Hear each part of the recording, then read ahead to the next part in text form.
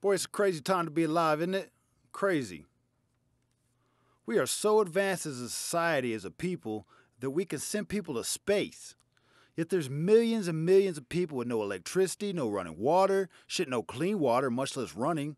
In some parts of the world, you still gotta go walk five miles, fight off some fucking crocodiles, all for a bucket of water infested with malaria or some third world shit that doesn't even exist here because we killed it.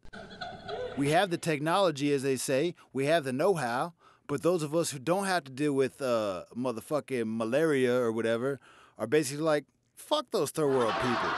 Fuck them for being stupid enough to live in a place where that's a thing.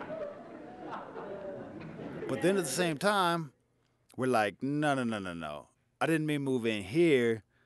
See, this is my house, so yeah, fuck you, go back to malaria land and die, and quit wasting all my valuable commercial time. I need to see things that I might or might not want, but definitely don't need. And I don't want to see any more ads telling me I could save you for a dollar a day. I have a buck, you're not getting it. Fuck you for reminding me I'm a shitty person every time I want to watch a fucking TV show. Yeah, bro, it's crazy. It's crazy time. We live in the most famous democracy in recorded history. Nobody votes. Nobody fucking votes. Everybody's like, I don't feel like my vote will matter. Well, if you were the only fucking idiot who felt that way, then it wouldn't. But there's more people in America who don't vote than people that do. That's crazy. In ancient Greece, the founder of democracy, and in ancient Rome, the refiners of democracy, two out of three people were slaves, couldn't vote. And even if you were free, you weren't likely to get to vote unless you were male and you held land and title. You had to be rich and white, basically. America was supposed to be different. We were supposed to be better. Let's let everybody vote. Fuck it. But nobody does it, even though it's a precious gift. I think it's because of this two party system. See, it doesn't matter which side of the coin you're voting for, it's all the same fucking thing, right? That's why nobody votes. Well, I mean that, and because we're lazy and disorganized. But we should have more choices. I want a party that provides totally free health services to all its citizens. If you're sick and need treatment, you should get it. That's not a crazy idea. In fact, it's the standard for most first world countries. People say shit like, oh, we won't be able to pick our doctors anymore. You don't get to pick your fucking doctor now. If you did, everybody would be going to one guy, right? If you had your choice, wouldn't you go to the best doctor? Yeah, so would everybody else. You go to the doctor who's closest to you at the time you need help. Most of us, anyway. Some people still have family doctors, I guess, which is fucking weird. You going for a prostate exam? Oh, you're a lot tighter than your father was. What the fuck? So many disturbing thoughts go through your head all at once. So many disturbing thoughts. Just when you think it can't get any worse, the doc's like, I wonder if that's just from old age. that's fucked up. But yeah, bro, free healthcare. And legalize weed at the federal level. It's been far too long to legalize weed already. It's legal everywhere, any amount, whatever purpose you want to use it for. You can stick it up your dad's loose asshole if you want to. America doesn't care. We no longer discriminate or harass marijuana users, and that, of course, includes hemp and hemp products. But don't call me a liberal. I firmly believe in gun owners' rights. I think you should be able to own any type of weapon that the police are allowed to own. Hear me out on this. If nobody's allowed to have guns anymore, the police shouldn't be armed either. See, the reason that we need guns is the same reason that the cops do to protect ourselves from armed criminals. So if the cops need the AR 15s to do the job, then we need AR 15s to do the job. If the cops can get the job done with just shotguns and six shooters, then that's all anybody should be able to have. It's a good system, it's a smart system, which is why you'll never hear any stupid politician propose it. There's too much money in guns. Police departments have received 35 billion in grants from the Department of Homeland Security. You know what for? To buy up all the leftover war stock from the Department of Defense. It's true, look it up. Ask your phone. That's what I do. I swear to fucking Christ, my IQ has dropped 10 points since I got a smartphone. Swear to Christ. I don't have to know anything anymore. My phone knows everything and I own it. It does what I tell it to. It's like my phone is God and I own God. It's great. You ever try praying but then don't get an answer?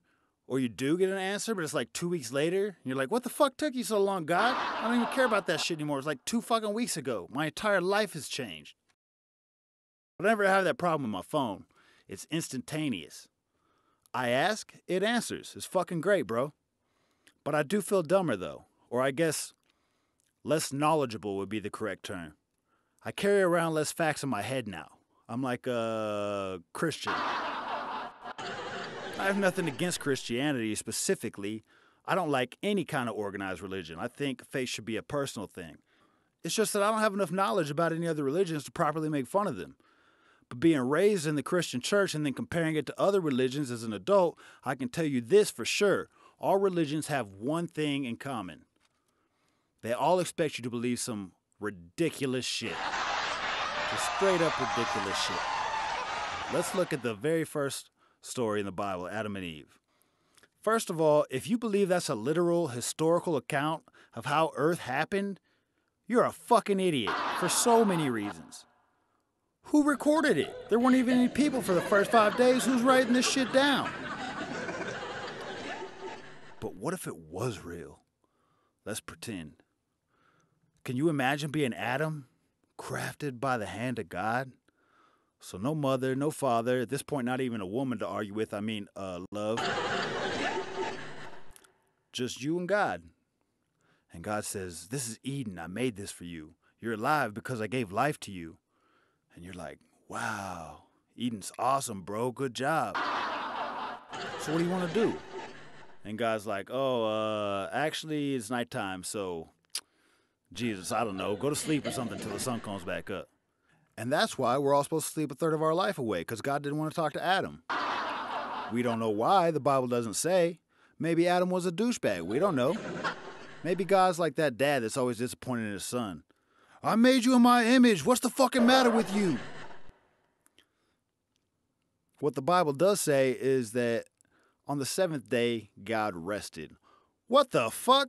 God needs rest? Well, that explains natural disasters, I guess. You know God's waking up pissed too. Are you fucking serious right now? Arrested for one day, now half of New Orleans is gone? So anyway, what's Adam do while God's uh, napping? The Bible says he starts naming shit. Bird! He's just shouting out sounds that he thinks are cool. Bird! He takes it to the show God and he's like, hey God, check it out. Bird! And God's like, Jesus Christ, this is my only day off, Adam. What part of day off don't you understand? Adam just yells out bird again, so God tells him, yeah, great. Bird, whatever. Name shit whatever you want to. I don't care. Just leave me the fuck alone till tomorrow. Since we're imagining this from a Christian angle, we'll presume that it's what we now call Monday when God resumes his duties. So Adam's up with the sun Monday morning, pestering God with all the stupid one syllable names that he named everything. And God's like, I need to make this douchebag someone else to bother so he'll leave me alone. And thus, God created Eve. I wonder if she was perfect, beautiful inside and out. Or if God just kind of half assed it and created like a Lena Dunham type. Said, there you go, Adam, go fuck with that. But Adam thought he said, go fuck that. And for like the first two weeks, Adam and Eve barely spoke, just fucking each other in paradise. And it was magical. But then, like all new couples do, they made the mistake of having a real conversation. At which point, Eve finds out what God already knew. This guy, Adam, kind of a tool. But what the fuck is she supposed to do about it? He's literally the only guy on the planet, the only other person on the planet. So Eve doesn't even have the option to go and dyke. What's she supposed to do? So she keeps fucking him, but now they're fighting all the time. She's not happy. And now the devil sees a weakness in God's perfect system, and he exploits it. He visits Eve as a serpent and tells her, Eat from this tree that God said not to eat from, and you'll know things. And Eve's like, Oh, what kind of things? And the serpent's like, Shit, I don't know, good, evil, all that. Eve suddenly gets excited. She's like, Well, I know how to get away from Adam? And the serpent's like, Yeah, sure, whatever, just eat the fucking apple. So Eve does, and our loving and righteous God curses everyone that'll ever be born ever to live in hardship because one bitch ate a piece of fruit. Sounds fair. So Adam and Eve get booted from the garden. There's these two angels with swords of fire that block the only way back in. Adam's like, oh, this is just fucking great. How could this day get any worse? Eve goes, I'm pregnant. So along come uh, Cain and Abel. Cain's a rancher, Abel's a farmer. They both have to sacrifice their best shit to God now to avoid damnation because their mom likes apples and thinks she knows everything. But it's not exactly equal, is it? For Cain and Abel, I mean. If you grow veggies and shit, of course you're going to bring the best to God. The juiciest tomato, the brightest orange orange that you can find. But if you're Cain, you're in a different situation. Sacrifice times comes around and you got to decide who's going to get their throat slit and lit on fire while they bleed out. So Cain looks around at all his animals and he goes, uh, okay, this mangy sheep over here probably gonna die anyway, so I'll burn him up for God. And uh, let's see, I need one more. Oh, oh, oh, I got it. See, there's this particularly honorary goat that had bit him a few days back. So Cain coined the phrase, payback's a bitch, and slit the goat's throat and lit it on fire. There you go, guys. So we're good, right? See you next month? God's fucking pissed. Fuck no, we're not good. That mangy sheep he gave me died of natural causes on the way over here, so he doesn't even count. And that fucking ornery ass goat bit me as soon as he got to heaven. Nah, I'm just assuming sacrificed animals get a free pass to heaven. It doesn't actually say that in the good book. Anyway, Cain ends up banished and goes off to start the Gentiles, which is what all of us are unless you're a Jew. Wait, what? Who the fuck you do that with? I thought everybody came from Adam and Eve. This story's got more holes than Swiss cheese, but if you're a creationist, you're supposed to take every word as fact. It's fucking ridiculous. It is fucking ridiculous. This story is obviously a metaphor. Jesus taught in parables. Why wouldn't God do the same if they're supposed to be the same being? Jesus didn't usually say, do this, don't do that. No. He told you a story. A son gets an advance on his inheritance, then blows it all on booze and hookers, and when he's penniless and out of options, he goes back home to his rich daddy, who's not even mad at him. The father runs out to his son, My son, my son, who was once lost but is now found. And he throws him a fucking feast and he gives him a couple of pretty young wives, all that shit. And at this point, you're thinking, You know what, Jesus? Forgiveness sounds awesome. Sign me up. And then you find out there's a catch. So you don't just get to be forgiven, you're also supposed to forgive. Fuck, you mean I have to be a caring, compassionate, decent human being? This sucks, Jesus. But then you have one of those eureka moments, you know, where the little light bulb comes on and over your head. Wait, wait. Even if I don't forgive others, you'll still have to forgive me, right? If I ask you to?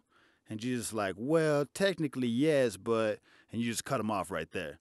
Cool, cool. So I'm gonna just go be shitty now and think of only myself from now on. Love you, Jesus. See you in heaven.